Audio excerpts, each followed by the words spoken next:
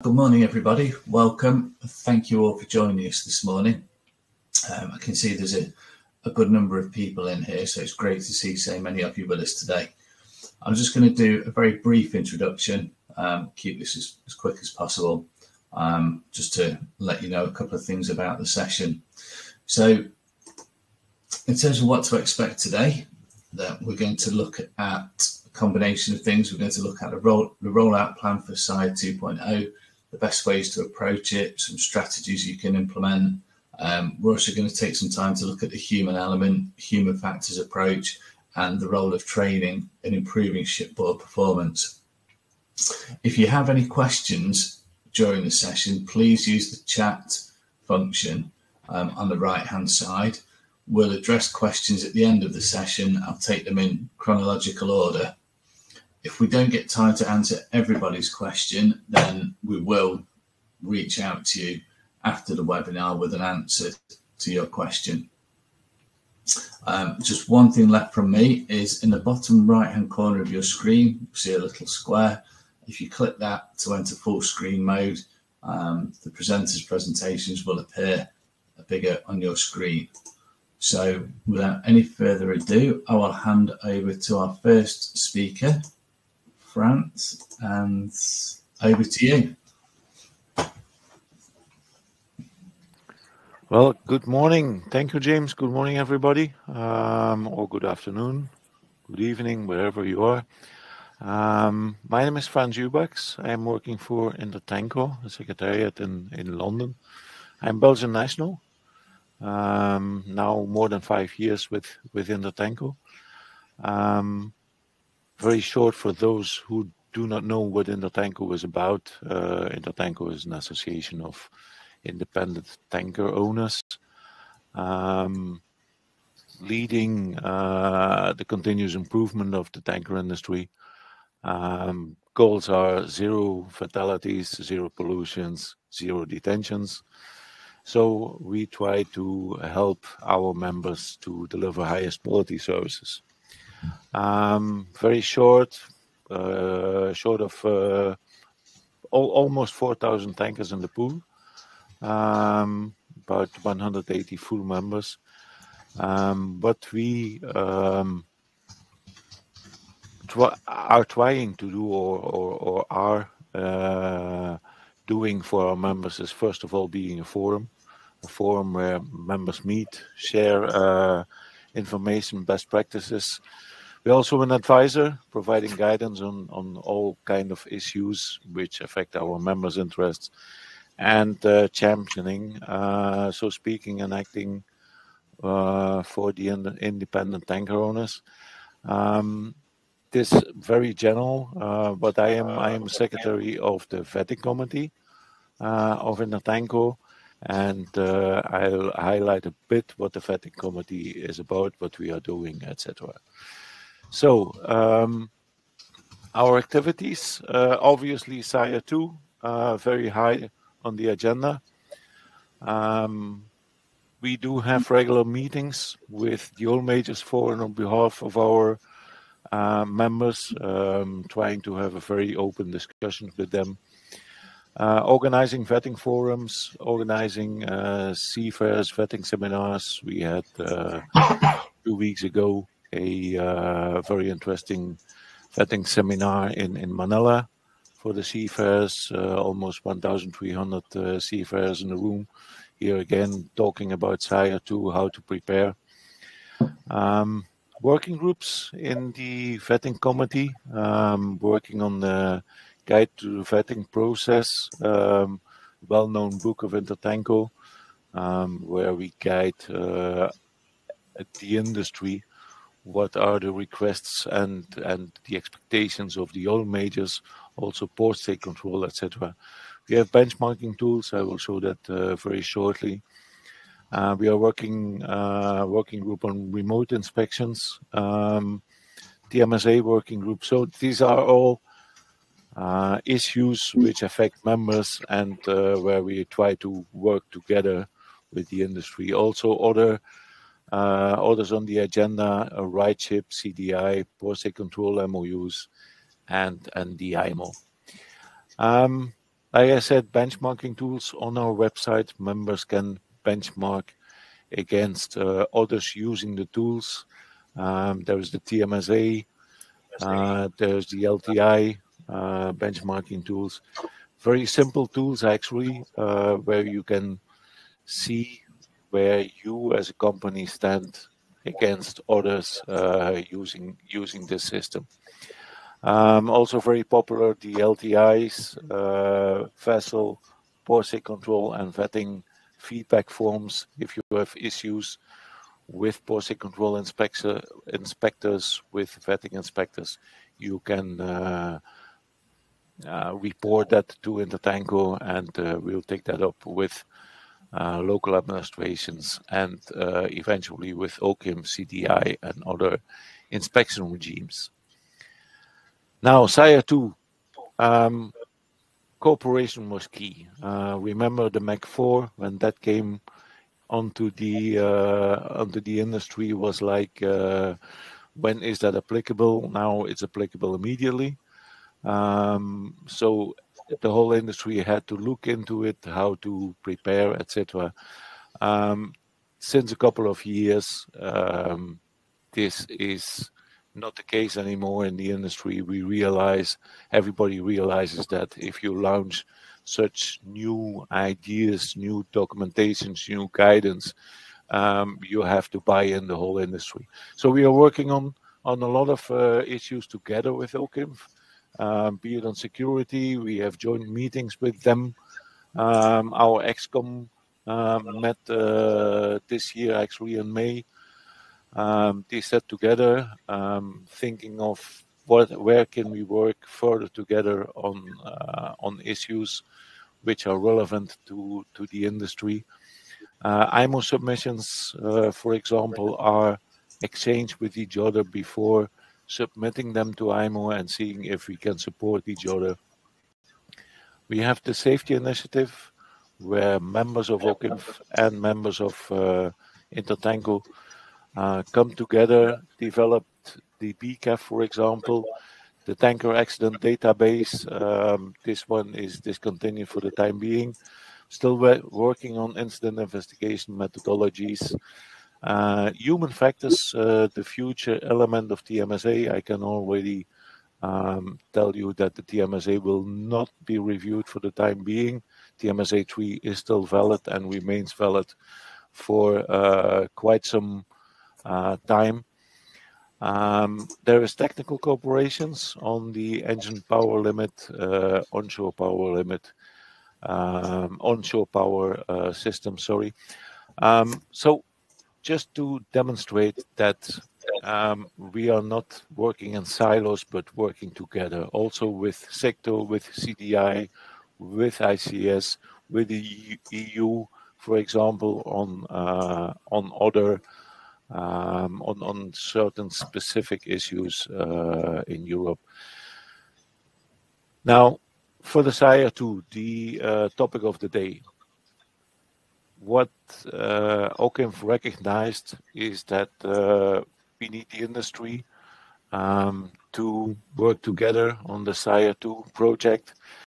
We had a question library, which was uh, uh, delivered to, you know, the 1,394 pages, which was delivered quite early to Intertanko um, to review it, to give our input, to look if all was accurate, uh, what was uh, mentioned over there. We had workshops with the vetting committee. Um, there is the transition uh, phases, which you are probably well aware, where we work together, where we but uh, our members participate and exchange ideas. Um, we are looking at future integration of IT systems. The idea here is to, you might uh, be aware that all the input, what you have to do with the pre-inspection questionnaire, uh, the HVPQ, it's all manual entry uh, from your desks and uh, all this information is already electronically available somewhere be it at, at classification societies, be it at uh, Q88, be it at your own IT system. Why not uh, get a sort of uh, automatic uh, upload to the OCIMF system. So we are working uh, on that one. And then last but not least, we had years ago regular meetings with members specifically on vetting of the um, of OCIMF members, but also uh, Intertanko members. So coming together twice a year and discuss the whole SIRE, um, where is it going, how is it going. Uh, so they called it uh, the SIRE focus group and still working on that one to re-establish, let's say. So, SIRE 2, we have to understand why. Uh, why is the uh, SIRE 2 not simply called VIQ 8 or something like that? Um, it is a complete change of mindset. It's a game changer, what we are looking at. Um, and the reasons are listed over here. Um, it the VIQ 7 contains too much of questions. That's clear. Um, the inspector coming on board, having eight to 10 hours uh, to go through 200 questions. Yes, no, not applicable.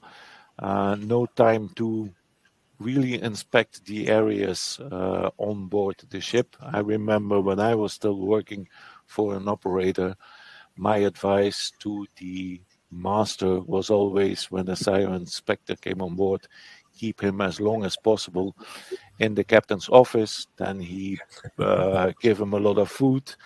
Um, put all your papers over there, and he will spend a lot of time in checking paperwork, um, and not too much of time uh, going physically on deck, physically in the engine room uh, to check uh, in detail over there. Um, this will not be possible anymore uh, due to the uh, the preload of the uh, the pre-inspection questionnaires and the photographs, etc. So um, was not really risk-based. Um, the VIQ 7, where the SIRE 2.0 will be, of course, uh, risk-based. Now, um, you all know that the human element uh, of the human factor, how they call it, is going to be very important um, during the uh, the SIRE 2 inspections. Uh, I'm sure uh, we will come back to that in a short during these the sessions today. So, um, for those who are not aware yet, uh, but you should already, there's the core questions. Core questions, 90 questions, not more. Yeah, it is not that uh, uh, it is uh, a, a, massive amount of, of questions. Um, the core questions, the reason they are called questions, uh, core questions, is where OCIMF or OCIMF members uh, thought that these questions are so important. Uh, if they are not uh, answered yes, or, or um, the inspector is not satisfied with the answer, that can lead to a catastrophic event. Then you have the rotational ones, the rotational two questions, um, all um, uh, an algorithm uh, which will calculate how often they come back. The conditional questions, uh, depending on the history of the ship, the operator, and then the campaign questions. There are non-campaign questions now yet, but the idea is a bit like the CIC of the policy control administrations, uh, which you all are aware of. Um, so they will uh, they will definitely be core questions at that time. Um, focus on the human element, uh, very simple. Um, talking to crew, trying to explain uh, or trying to understand if the crew knows why they are doing a certain job, how they are doing it, where they can find um, the procedures, the policy of the company, the checklists, etc. Um, pro procedural uh, element good. Um, the inspector will will ask to view certain documents, to view the checklist, to view the procedures, and then hardware uh, if everything is working fine on board. Where are we now? The rollout. We are in phase two since July uh, June, July, phase two, which means that a restricted amount of operators and oil majors are um, going through a testing phase. Yeah, it seems to go quite well. Phase two. Um, we don't know yet when phase two will be finished. OCIMF has said that phase, uh, the start of phase three, where everybody will be able to subscribe or or to um, invite an inspector or an oil major to do a SIRE 2 uh, inspection uh, will be possible. They will um, inform as well in time. So uh, watch the space, watch the OCIMF website, watch the Intertanko website, where we will um, inform you when the phase two is up and running and that you can uh, take part for those who are not taking part yet. Um, what is Intertanko doing more? We are working on the Seafarer's practical guide. So the 1,300 pages, um, we thought like, what is not really practical? Um, where where do you start? You're a junior officer coming on board of a ship, which has maybe to go through a SIRE 2 inspection in the future. Where do I start? Um, start with the Seafarer's Practical Guide will be available next month. Yeah, um, where you can identify very easily the core questions, um, the rotational questions, where you can identify if the question is related to human factor, to the uh, hardware, to the process. Um, and it, we try to make it very visual and very um, uh, you, you, can see it on the on the slide here. Um, very practical to see. Okay, this is what I have to know. This is where it's going about. It is in no way uh, the idea to replace the uh, question library of OCIMF, but uh, at least uh, easy to find um, the questions and the advices in there. What finally, what is the advice what we give to members? Well, um, if you have not done yet, review your TMSA submission uh, because every question in the SIRE 2 is related to a TMSA uh, element. Um, once phase 3 is up and running, do participate in phase 3. Um, you will not have the chance to do every ship in phase 3 uh, transition uh, inspections, but try to do at, le at least uh, each type of your, uh, your ship type, what you have in your fleet. Um, identify the PIQ questions already, um, which are static and dynamic. Um, start to prepare your photos. Um, if you have a uh, rescue boat drill or a lifeboat drill, uh, give a camera or a smartphone with uh, with the guys, and uh, they can already start to make pictures of the hull, etc. And then raise awareness, of course, amongst the crew, train them. Um, this is a, a, brilliant opportunity given by OTG here um, to to to raise the awareness to make sure that people know what is coming. Um, SIRE 2 inspection, it's your crew's moment to shine. Yeah, uh, look at it positive. Um, an inspector will ask uh, somebody on board how he does his job, why he does a job like it is. It is the crew member's moment that he can show off, show off what, how good he is, and how good your company is uh, treating them, how good um, the crew is, uh, is is performing and operating the ship the very last part, the very difficult part, is the charters, the brokers, the terminals, other stakeholders. We need to get these people on board um, to understand uh, what is 2 about. Um, they should stop uh, counting the number of observations. Um, they could, they should start to understand what SIRE 2 is about. It's not just uh, counting um, negative observations, but there's much more data which will be available to the industry. And that's it from my end. Over to you, James. thank you for that, Frank. Much appreciated. I'm going to hand over the mic now to Andy Easdown. Um, Andy will introduce himself for a moment and then take us through a look at um, the impact that training can have in removing the fear factor. So, Andy, over to you. Yes, thanks very much. And um, hello, everybody. Thanks for joining the webinar session today. Uh, for those of you who haven't met me before, I'm Andy Easdown. Um, I'm a naval architect, marine engineer, currently working for Ocean Technology as a subject matter expert. Can't quite believe it, but I'm in my 48th year in the maritime industry.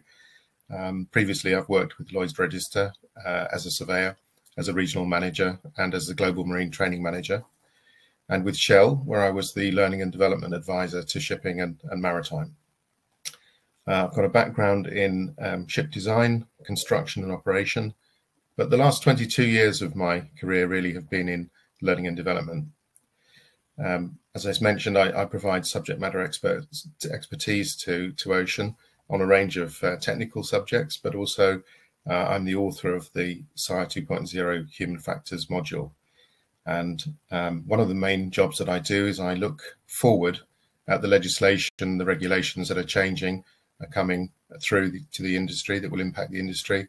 I put those into a report for Ocean Technology so that we can prepare in advance and make sure that the um, the, the, training that you need is, is, is ready in good time.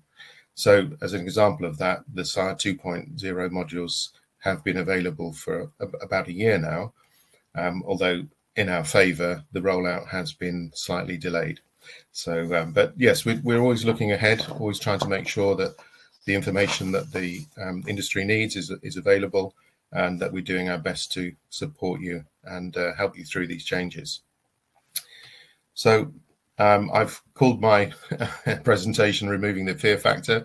I think um, it's still quite clear from the feedback that we get from, from various sessions that people are very worried um, about what's coming with SIRE 2.0.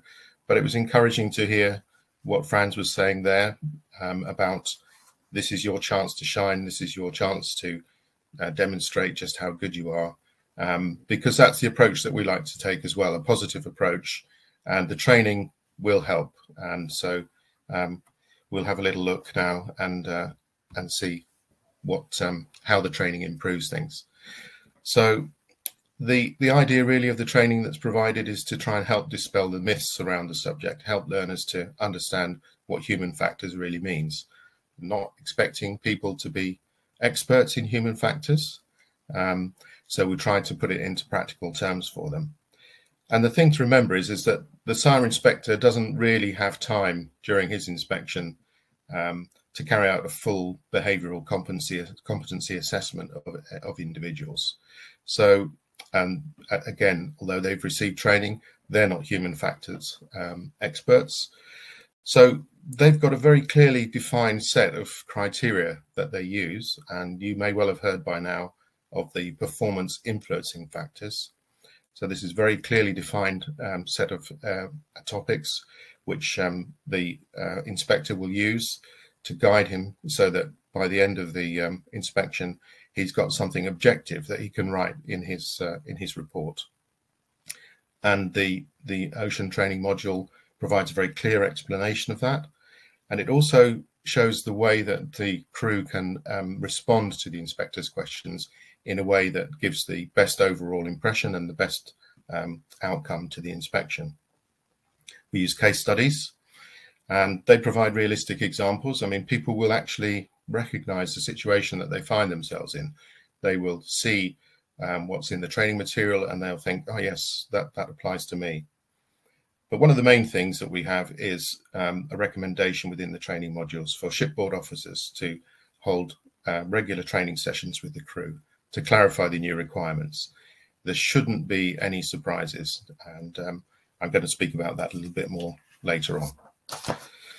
So um, you might be aware as well that there are um, a number of uh, videos and um, papers and so on uh, out on the internet, mainly from OCIMF, um, which um, uh, call themselves uh, training materials. Um, I, I, would prefer to, uh, without in any way being rude to, I call them helpful information, because there's a huge difference between training materials and what I would call helpful information. And this is really um, the way that which the, the, materials are designed and the fact that they are set with um, clear objectives and assessed during the process. So um, all of the OTG training material is designed with very clear objectives. It's assessed during um, during the, the um, training session to make sure that people are understanding. And then there's a final assessment at the end, which confirms that learning has actually been achieved. And um, through through that process, uh, it's possible for a company to provide clear evidence of learning. They they know they can record the fact that the people have actually completed the training, and they also can have a, a, a way of showing that yes, they've actually understood. Um, you know, this is uh, information which that which they hold, which when you when you look at the helpful information, yes, you can you can achieve a lot with that, but there's no way to record that. You don't really know what's been taken in. You're not quite sure um, who's done it and when they did it, and whether actually they even learned anything while they were doing it. So, I think the other really important factor as well, and this is where helpful information is is useful too, um, is that by going through this kind of training process, everybody learns a common vocabulary. Um, so whether they're on board, whether in the office, they achieve a sort of common understanding of what is the topic, what are they talking about, and they they'll understand their role in achieving a successful inspection. So looking at our own figures, um, we can only look at our own uh, subscribed members, of course, but um, there's two charts here. The one on the left is showing um, the SIRE 2.0 programs, all of them. And the one on the right is showing the human factors. And so what we can see is that um, whilst there's been a very um, gratifying take up and more than 43,000 people have um, carried out some training, um, there's still a long way to go. Um, even even on the um, tankers uh, side of things, still less than 50% of the eligible crew members have actually done any undertaken any training. And if we look at human factors, we can see that it's even a much smaller uh, proportion. So um, obviously we would commend people to um, start this training as, as soon as they can and to uh, to promote it to their to their staff so that it does to help help to dispel this this concern, this worry um, that people have. So also, as a matter of interest, the difference between the dark blue and the light blue is a, where the um, the ship has actually got the programs installed, but they nobody's actually tackled them yet. So again, perhaps a little reminder to everybody that you've got this material, you can actually do this training now, and um, encourage them to to progress it and uh, get on with it. So the real issue, removing the fear factor. Um, what uh, what are the practical measures that we can we can use to help people to to explain the the process that will be used? And um, we try to do that as much as possible through case studies. As i mentioned before um, it looks familiar to you. It looks like something that you do. You can relate to it and it can really help you. And then the other aspect of it is is if um, one of the things we particularly strongly advise is that uh, don't leave this um, situation where the first time that the person who, who, you know Frans mentioned there, the inspector will talk to the crew, he will ask questions. So don't let the inspection be the first time that that person answers that question, because they won't give their best performance. And if we think about how do people produce their best performance, they do it by practicing, they do it by preparing um, in in theatre and drama, you do it by rehearsals. Um, in in sport, you do it by training. So it's exactly the same. If you're um, faced with what feels like quite a pressurized situation, um, you, you're quite likely to miss something or perhaps not give the answer in the way that you expected to give it. Um, and that might lead to questions which you don't really want to have to follow up on. So if you practice with your senior officers and you can be guided through that process so that um, you can think about what you're going to say, how you're going to say it, you can be corrected in a safe environment, that's something that would be really beneficial. So um, if everybody does the training, everybody has the same understanding, then you practice um, and you make sure that the answers that you give are in line with the um, answers that are expected, uh, then that's going to be a massive help. So what I'm going to uh, do now, um, sorry, I've just gone a little bit further forward than I should have done. I'm going to show you a video of a case study so that you can um, see what they're like. It takes about two and a half minutes, and um, it, and we'll discuss the uh, what it, um, following the uh, following the case study. So here it comes.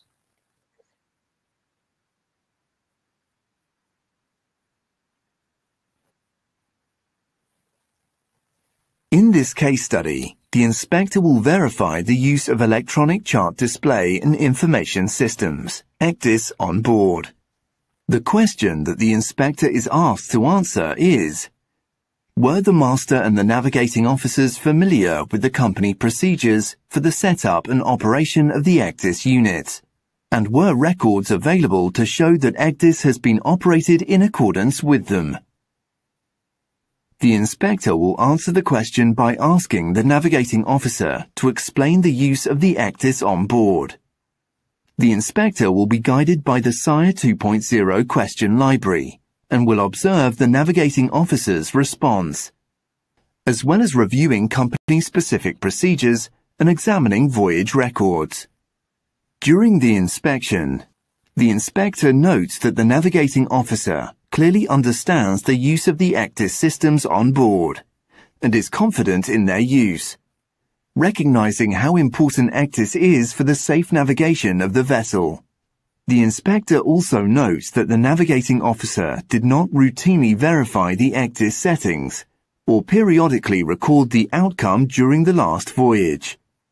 Additionally, although the SMS listed options for verifying the ECDIS settings, it did not state the frequency or the preferred method. Looking at the drop-down list of observations, the inspector noted that PIFs 1, 3 and 8 were applicable and commented accordingly. PIF 1 was as expected. The navigation officer recognized the safety criticality of the task and took the appropriate actions. PIF 3 was not as expected. The procedures were not helpful and their requirements were open to interpretation and not understood by the navigating officer. PIF 8 was not as expected. The ECDIS could have been giving inaccurate information, leading to a false sense of security as the settings were not being periodically reviewed. In this case, a negative observation was raised. Right, let's go back to the presentation.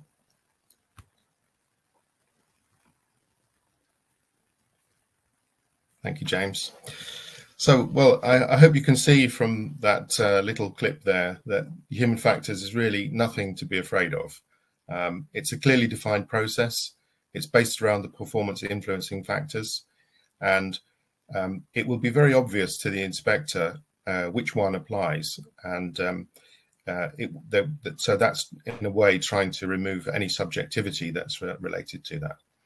As has already been mentioned, the, the, the SIRE 2.0 question library is an incredible resource. And um, whilst it's quite daunting, there are a number of ways uh, that you can uh, break it down into the, the sections that are um, applicable to each of your different departments. And by working through a certain number of them every week and every month, um, you'll soon have an idea um, of, of, exactly what's expected of you during during the inspection. So, the the, the brilliant thing about it is is that um, it provides a model answer because not only does it tell you what legislation is applicable um, and what TMSA element it applies to it, but it also gives you the um, evidence that the inspector is looking for and also potential grounds for any negative observation. So, so in a way, you could say there's not really any excuse um, for getting it wrong because the model answer is is there. But of course, it does require effort, and the thing that um, the, the, training modules uh, promote over and over again is really preparation, preparation, preparation, and making sure that you've done everything that you can to show that you're um, performing to the highest standards. So, and clearly, the more familiar that your uh, officers and your crew are with the, the, inspection process, and the more practice they have, um, the, the greater their confidence will be.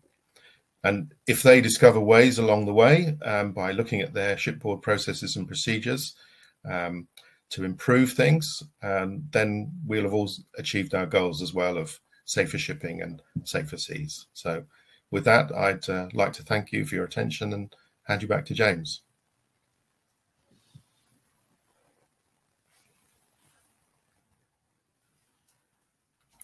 I think you're on mute, James. Class. Um, I'm just going to hand you over now to Raal Harris, our very own Chief Creative Officer here at Ocean Technologies Group. So over to you, Raal. Yeah, thank, thanks, uh, James, and uh, and thanks to you, Andy, for, for outlining there the different um, modules and stuff that we have that cover different aspects of the of the SIRE and giving a good indication of how to get on. Uh, I feel kind of something of a fraud next to Frans and Andy, with their huge amounts of experience in, in tankers. We might be wondering why I'm speaking. Um, my background is around 20 years of making maritime e-learning, listening to experts like these guys, and I've worked with Andy in that capacity, and also work in lots of industry groups as well, which is where I know um, Frans from, working together in, uh, in one of the Intertanko groups. And um, so it's a great pleasure to be here with you today. And I'm going to keep my section very brief because time is ticking and I can see some questions already. Please load us up with some more questions. So I'll, I'll get through my piece as quickly as I can and then we'll go to the questions and we'll hopefully be able to help you with anything extra that you'd like to know. So James, you want to just load up my um, my deck? What I'm going to try and do is I'm going to try and sort of zoom back a little bit and I'm going to try and give you some extra things to think about how you can kind of support the whole idea and the whole approach around um, around human factors. So we start off. Um, these documents uh, been mentioned earlier, but really, what you're what you're seeing there is is an understanding from OCIMF, you know, that many of the safety barriers that have been put in place have helped us to reduce risk. And they've got some great graphs around that happening over time. But the one stubborn sort of piece still remains is what we're talking around human factors. And I think it's really important that we dwell on the human factors as opposed to human element. There's a reason. I mean, they're, they're kind of interchanged sometimes. But I think the key thing about human factors is we're talking about things that may, it may not just be a person making the wrong decision. It could be things that are impinging on that. So it could be procedures that are the issue there. It could be the ergonomics of the space. It could be things that anything that affects the human human's ability to be able to perform as intended. And these two documents, um, very very interesting. If you haven't looked at them, I suggest you look at them because they un- they really give an indication of sort of what's underpinning this whole approach. So the first one there was that sort of understanding human factors approach. Second one um, there looking at, at, at the whole uh, how you could go about assessing that and monitoring that. Obviously, you can't manage what you can't measure. So, how do we assess it and all those sorts of things? So, first step is to look at those. And what we see when we look at those is that there's this idea of the five pillars of, of successful human performance or uh, that, that's going to lead to safe tanker operations. And there are many different dimensions to those. The one I want to sort of focus our attention on just today is that that sort of first leading pillar, if you like, and I think it's number one for a reason, which is leading and shaping the culture you want. And increasingly, I think across our industry, we're seeing that understanding that the culture is really, really important, a foundational piece to getting everything else um, right. You may have heard this well worn phrase culture eats strategy for breakfast. Um, the other one that's slightly more telling, perhaps, is is people saying culture is what happens when the boss isn't around, you know, or when no one is looking. They say, and and that's really kind of I think key to understanding how to be successful um, with SIRE, when people start judging your human factors, you're getting people much more face time with the people in your organization. And so it's really, you know, you can try and put in all sorts of rules and everything for them to follow, but getting the culture right means that they're making better decisions and they're presenting themselves in the right way and saying the right things without you necessarily having to guide them. So I think that's a really key thing. So how can you go about kind of underpinning that and making sure that that's uh, there? And I think this quote, which which I saw in, I'll come to talk about it a little bit more, but the BCAV document or behavioral competency assessment, this quote, competency frameworks offer a structured approach to managing, appraising, and improving important um, performance by reinforcing values and encouraging a common culture. That comes straight out of the document, linked through to that pillars there, this is for me competency management and how you go about it is really really crucial. And this gives you uh, a way of managing measuring improving um, that core foundational piece there getting that right. Um, talking about competency frameworks i just want to spotlight these two. There are many. We have lots and lots and lots of different ones. I want to focus on these ones uh, not least because frans is here today with us this morning but the the, the Intertanko competency management guidelines, and of course, behavioral uh, competency, BCAV, that I mentioned, um, which was done in, in tandem with, with, with OCIMF. And why?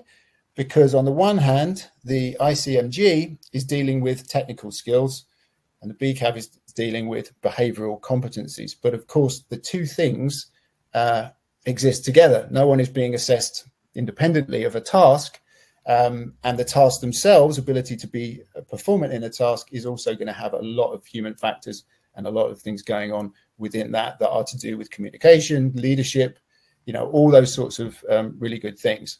So I think these are two areas that you can focus on uh, that are manageable starts to, to, to, getting hold of competency and to starting to make it measurable.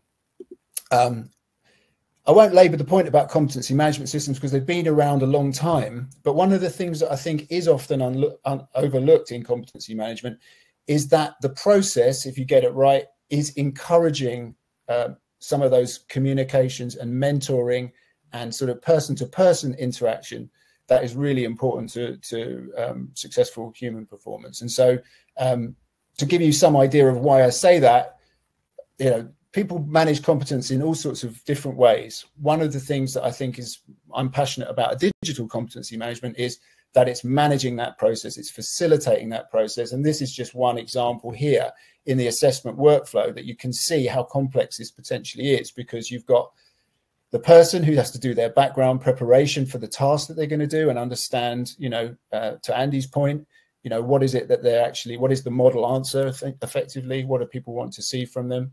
Um, and then it needs to be assessed. So the digital uh, process allows you to do that handover between the person wanting to be assessed, the assessor, moving backwards, forwards, the assessment itself, tracking that, tracking the evaluation, and updating that record so that we can actually see uh, uh, back at the uh, Shore office, we can actually see that picture of what's happening in our organization, not just sort of training data uh, of who's done what module, but a little bit deeper than that still, and looking at some of these specific things. Um, next point around the grading of assessments, and I think this is a big change when we come to particularly behavioural competencies, um, is we're then looking at, you know, how do you say, can you say someone is can, can communicate, yes or no?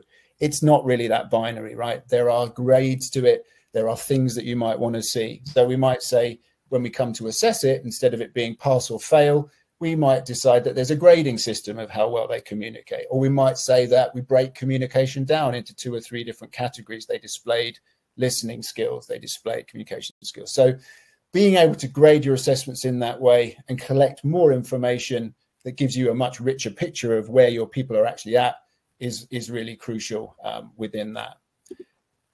And then this is a really key point. We're asking people to do a lot when we come to say assess uh, assess um, human factors, assess behavioural competency. You know, we see that that's going to be a challenge for for the uh, SIRE inspectors themselves to be able to get their heads around that. They've been doing huge amounts of preparation to prepare for that.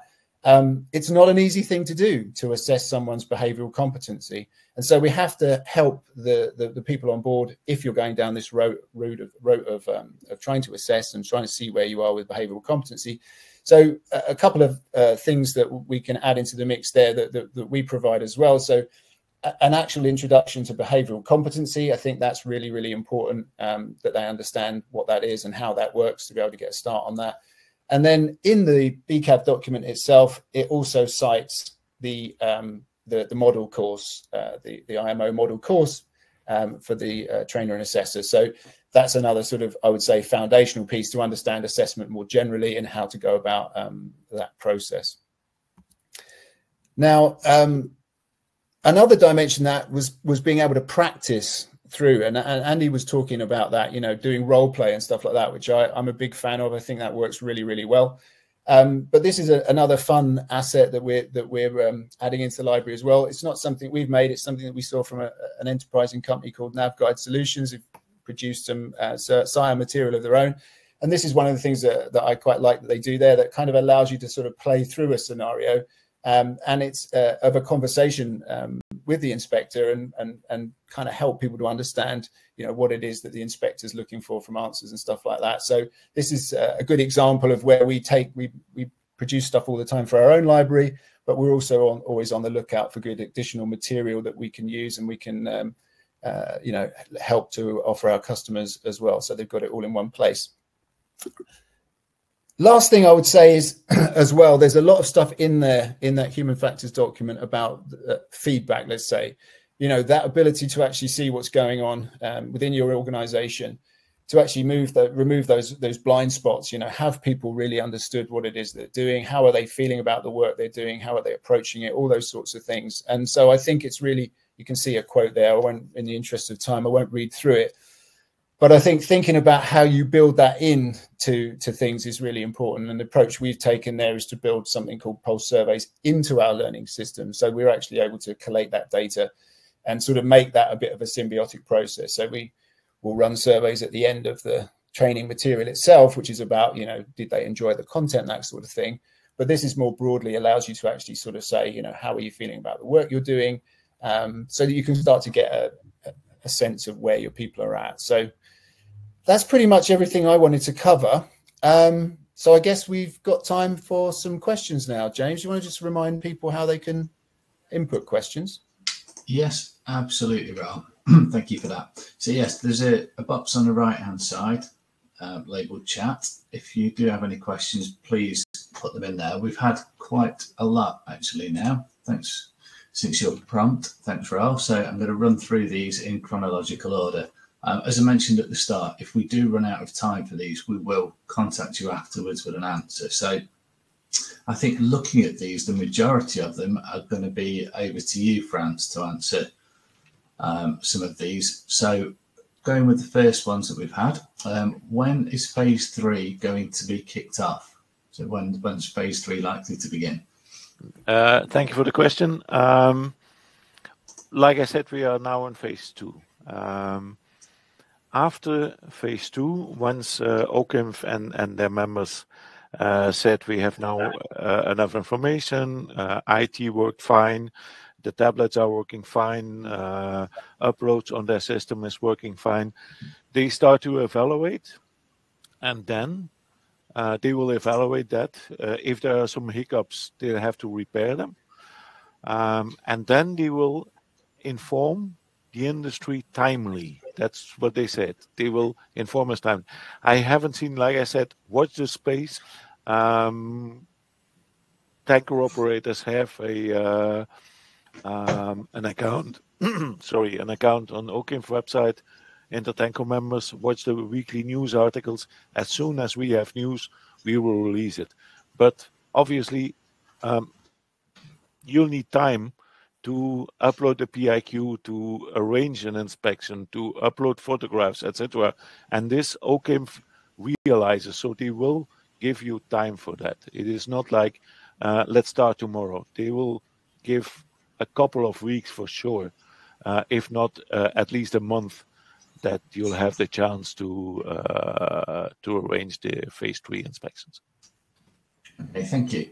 Um, in the presentation, you mentioned that SIRE 2.0 will come into force because the old one takes too much time due to the huge number of questions. Uh, do you have a feel for the amount of time um, for a SIRE 2.0 inspection? Of course, it depends on the current situation of the vessel, but do you have a, a rough answer you're able to provide? Uh, that's very clear uh, guidance, uh, James, from uh, from OCIMF that it will remain eight to ten hours. Um, but um, so eight to ten hours on board. Mm-hmm. Obviously, um, the inspectors will need some more time beforehand to verify the uh, the PIQ data, the photographs, um, uh, the the certificates, uh, all these kind of things. They will do that before they step on board, but the time on board remains, say, eight hours. Okay. So much you. much more time um, to engage with the people on board than going through documentation. Great, thanks, Frans. Um, what are the main differences between SIRE and SIRE 2.0? It's a game changer. Okay. Um, the SIRE was uh, was very yes, no, not applicable. Uh, now there are the grades uh, in in in most of the questions. Um, there will be much more interaction between the crew and the inspector himself. Uh, it's it's a complete different mindset. Okay. Thank you. Um, under SIRE 2.0, what does a positive observation typically entail? All right, very very interesting question. Um, a positive observation, first of all, can only be made on the uh, under the human factor, um, on under the human uh, uh, observation. So not on uh, on the uh, hardware process. So human. Um, keep that in mind. Um, it will say um, the junior officer exceeded normal expectations. Yeah, and here again, um, mandatory by the by default, the inspector must um, indicate one of the performance indicating factors the one of the PIFs, like uh, and and Andy mentions the the PIFs. Um, so for a positive observation exceeding normal expectations, that's that will be the standard wording, and he will be able to. Uh, he must first of all uh, indicate one of the PIFs and eventually give uh, give some some comments on that one. That's that's typical positive observation.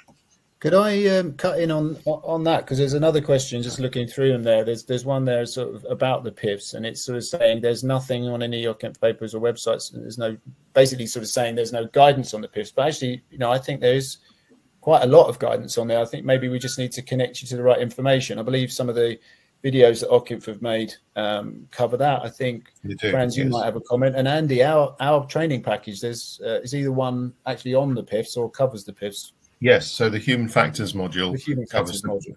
PIFs in detail, and it yeah. and it also reiterates that point there about um, positive ob- observations as well, because um, yes, it is it is quite possible that you know um, navigating officer as demonstrating knowledge that the um, inspector would expect from the captain. Um, and in that way, he, you know, it would be very straightforward for him to say, "Well, yes, you know, this this guy is really performing well." and to give credit uh, where where credit's due. So that's a significant change as well, trying to move away from this sort of very negative approach. Mm. And it and it is exactly in that human factors area, um, which, as Frans yeah. has already said, is is is the area that's going to make the biggest impact on safety, where that um, the performance influencing factors um, really come into play. So um, yes, there can be things around hardware as well, but but mainly it's around the actual um, human behavior that uh, will, will really lead to the biggest change with SIRE 2.0. Yeah, Frans, did you want to say anything more about that? Because there is there is quite a lot of guidance available. There, there it is there. Yeah, you are absolutely right, uh, Raal. It is uh, on on on OCIMF website. There is a lot of uh, documentation available on the PIFs, and it's detailed over there also. Yes. Mm-hmm. Yeah. Good. Okay. Um, got a few more questions in here. We've got about five minutes left, so we'll try and get through as many of these as we can. Um, can we challenge a SIRE inspector if a given observation is not appropriate due to a different background of the inspector? Um, yeah, I mean, I, I, I, can jump in ahead of Frans. I think that's something. Certainly, we describe that in the um, the, the uh, OTG modules uh, yes, if you think the inspector is wrong, um, then please do challenge him because um, yeah, they do come from different backgrounds. They do have some ideas of their own about what things should be required.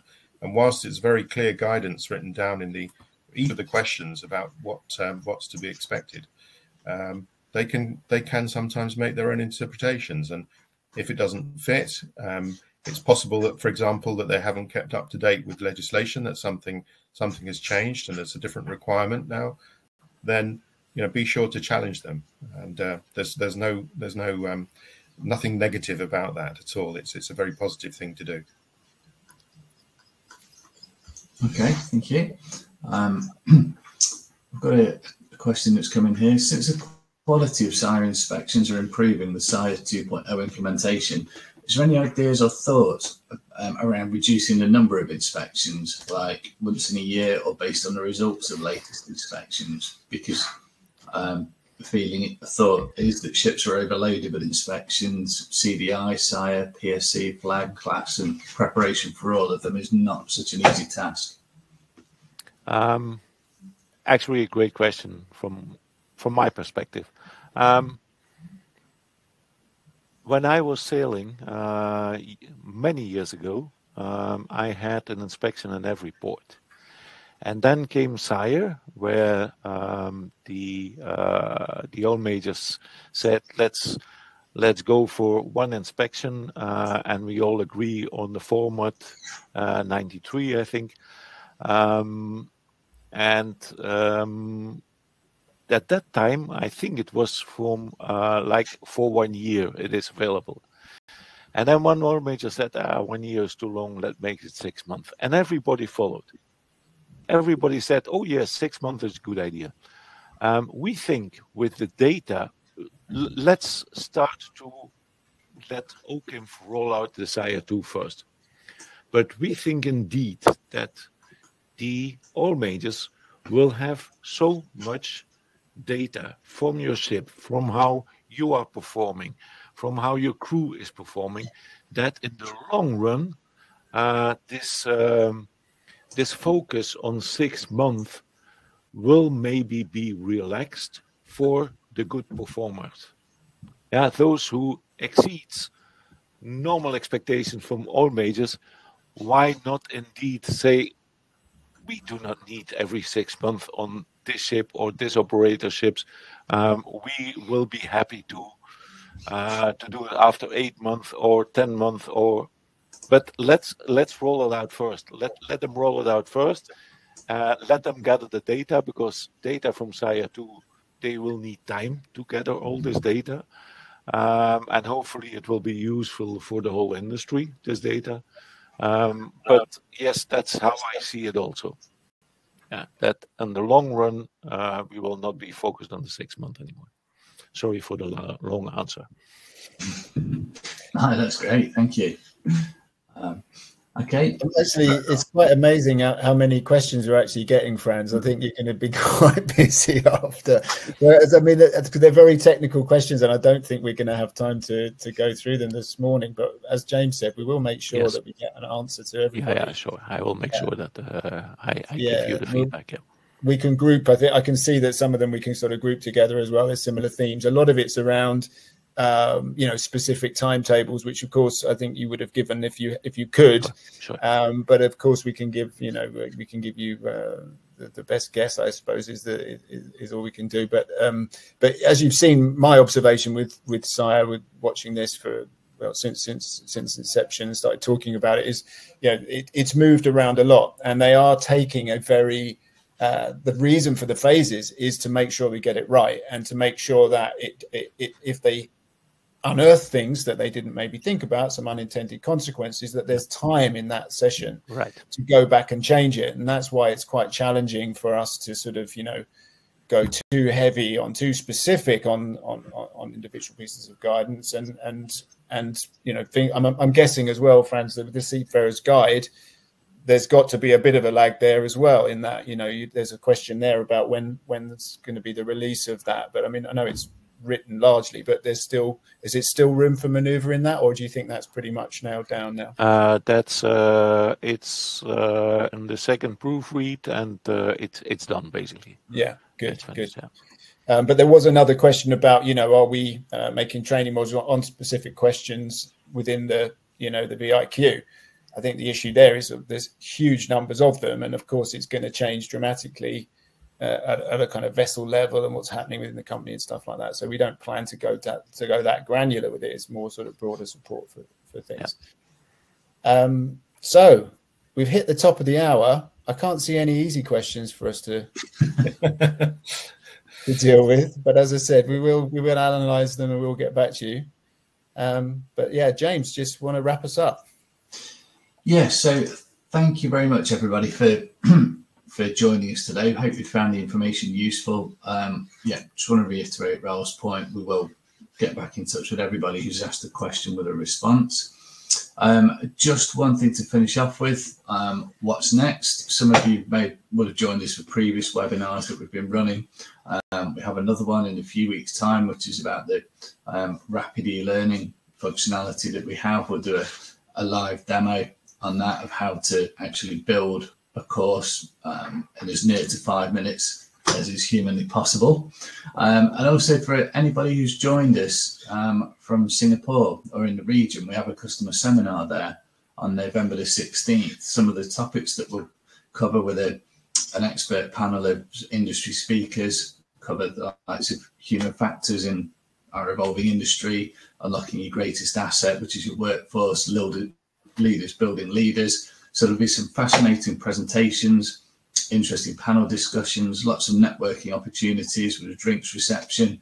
So we will send out um, more detailed information about that very shortly. But if you are in the area and are able to join us on that date, it's perhaps worth just bookmarking that in your diary. But aside from that, like I said, so Raal, did you want to yeah, just you know, just want to say, you know, James has been putting these together for us. You know, we've been um, getting the webinars going again. Um, did a lot of them in COVID times, and and then sort of you know they they went away. But we found that there's a very good ways of us getting uh, direct contact with you guys. So we really like and appreciate you coming. I really want to thank Frans for taking his time to come and join us today. It's a really valued uh, input there. So thank you so much. And, and Andy for all the, the, the care and attention you've been putting into our library, making sure it's up to date and everything. But yeah, just wanted to, my final point is, you know, please do feedback to us. Tell us what you like. Tell us what you don't like. Surveys go out. I know it's boring, but when you fill them in, it really helps us to improve because we can then focus more time on the things that that you like and that sort of stuff. So please keep in touch. Thanks for spending time with us this morning, and good luck out there. Thank you. Thank you. Thanks, Rob. Bye, everybody.